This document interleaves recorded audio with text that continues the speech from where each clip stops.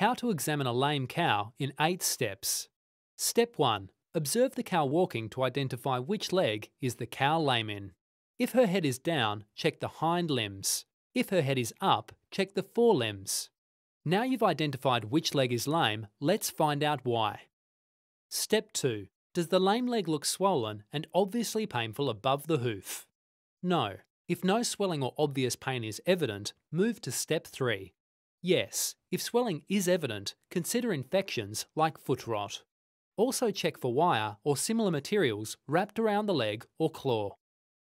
Step 3. Can you see cracks on the external surface of the hoof wall of the lame leg?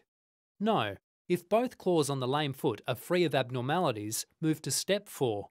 Yes. If vertical or horizontal cracks are evident, this is likely to be either axial wall cracks or sand cracks.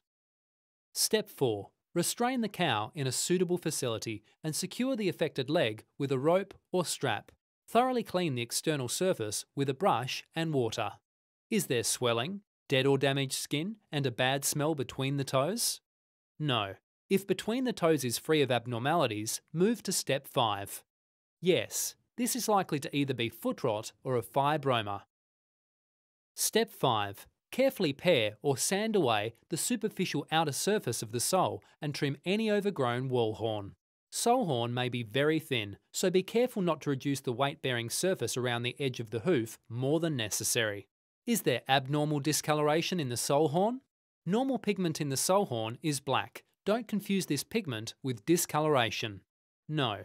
If there is no visible discoloration in the sole horn, move to step 6. Yes.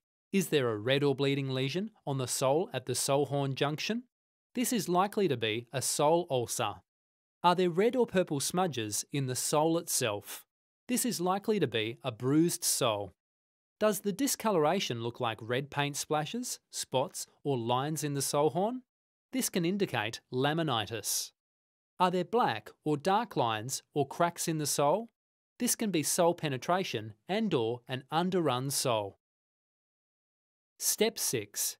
Is the white line separated and filled with mud and gravel, especially towards the heel area? No. If no apparent abnormality in the white line is detected, move to step 7.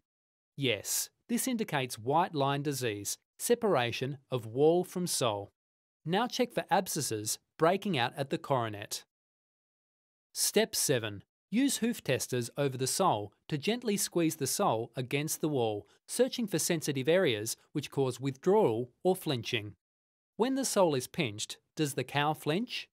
No. This means you've detected no abnormality in the claw.